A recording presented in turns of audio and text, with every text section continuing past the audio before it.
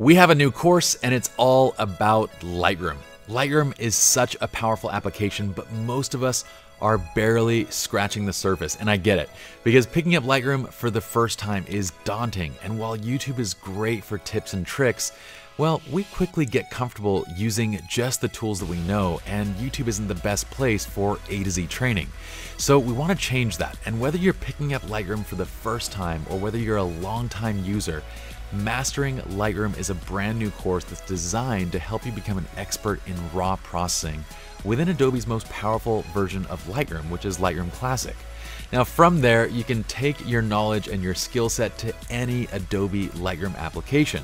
So, Lightroom Mobile, ACR, anything. So, stick around because this video gives a bit of insight into what this course offers. But as always, I do want you guys to walk away with things that you might not currently know about Lightroom. I want this trailer to be beneficial. I know most of you just want to see what you can create from this course, and we're going to dive into that first. So, mastering Lightroom comes with nearly 40 downloadable raw files so you can follow along with each lesson. And we're going to start by understanding the power of tone mapping within the basic panel because we can do so much there. We want you to understand exactly how exposure, highlights, shadows, whites, and blacks, as well as contrast, work in concert to control the tonal values in your image. Now here's a little secret. If you're ever wondering what information in your RAW file is being adjusted from these sliders, you can actually just mouse over the slider and watch that specific area of information get highlighted in the histogram. In fact, you can actually click that area in the histogram and adjust the sliders up and down directly from there.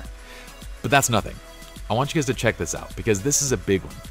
Did you know that there's seven unique tools when it comes to mapping colors within your images?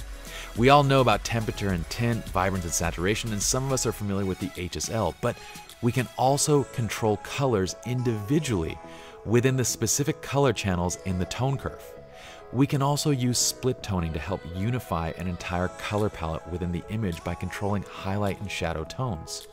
On top of that, we can use camera calibrations to tweak overall RGB values in the entire file, and we can even use brushes and local area adjustments to further control either global color or local color within our images. Color is how we get to that distinct look that fits our own personal style, and most of us don't realize just how much control we have within Lightroom. Moving on, one of my favorite sections in this course is dodging and burning, and within that subject, we dive into detail.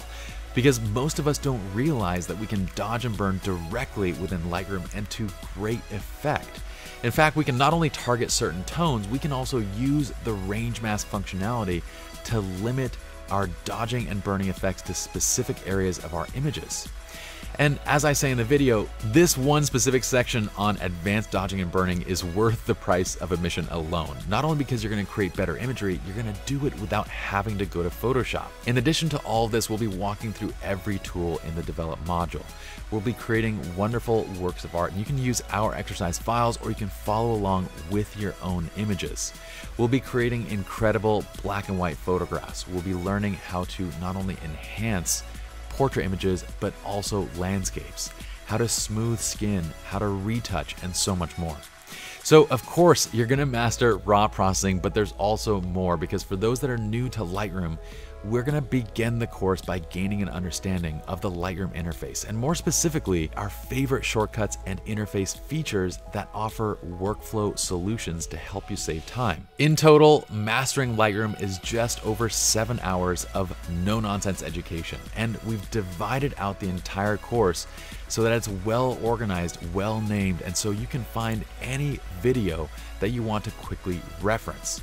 So you can jump to the topics that matter most, or you can start from the top and work all the way through in A to Z fashion. Finally, in the last section of the course, we're also going to cover tips and tricks to help you optimize Lightroom, set up your own presets, find missing images, and deal with other common problems, as well as customize Lightroom with watermarks and more. You guys can pick up the entire course or join premium at slrloungeworkshops.com.